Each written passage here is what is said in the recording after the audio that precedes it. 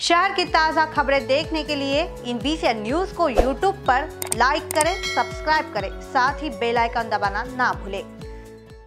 आयुध निर्माणियों में काम करने वाले बयासी हज़ार रक्षा सैनिक कर्मचारियों द्वारा देश के इकतालीस आयुध निगमीकरण करने और फिर शेयर बाज़ार में सूचीबद्ध करने के लिए किए गए मनमाने गैरकानूनी और अन्यायकारक निर्णय के खिलाफ बहुत ज़्यादा आंदोलन किए जा रहे हैं।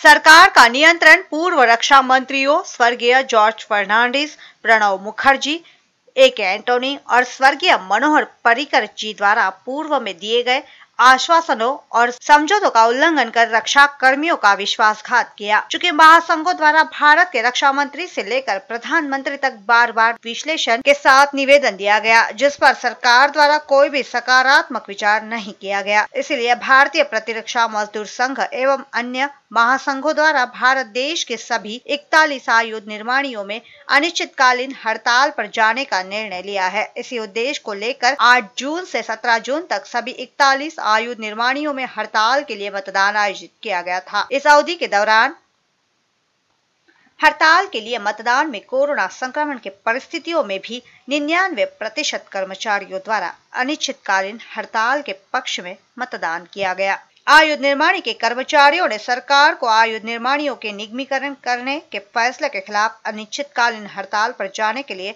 जनादेश दिया।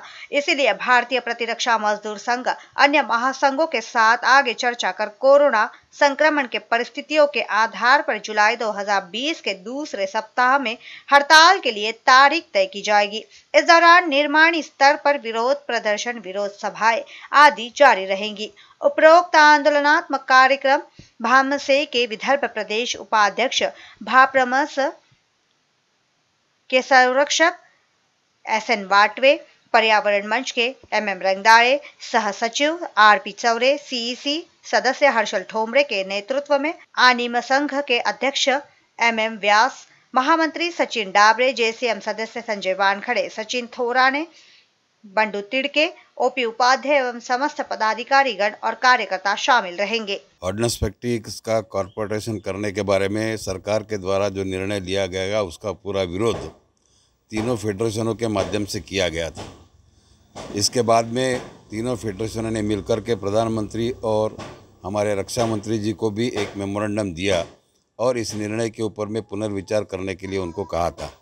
किंतु किसी भी तरह का सकारात्मक उत्तर हमको अभी तक प्राप्त नहीं हुआ।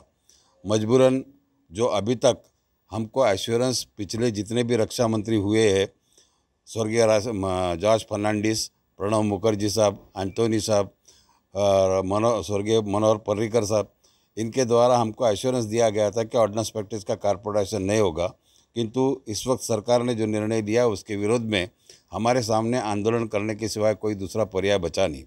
इसलिए हम लोगों ने आठ तारीख से लेकर के सत्रह तारीख तक पूरे हिंदुस्तान के अंदर में हम लोगों ने स्ट्राइक बैलेट लिया, जिसमें पूरे बयासी हज़ार कर्मचारियों में से करीब करीब पंचानवे से अट्ठानवे परसेंट के बीच जो कर्मचारियों ने स्ट्राइक इंडिफिनिट स्ट्राइक करने के पक्ष में मतदान किया है। हम लोगों ने सरकार को आगाह किया है और इसके बाद में इसके बारे में फिर से हम लोग जैसा संगठनात्मक आदेश आएगा, तीनों फेडरेशन के लोगों को हम लोग आंदोलन करते रहेंगे और सरकार को अभी भी समय है कि सरकार अपने जो अपना जो निर्णय है, उस निर्णय को वापस ले। इन बीच न्यूज़ के लिए वाड़ी से सुनील शेट्टी के साथ अभिषेक पांसे की रिपोर्ट।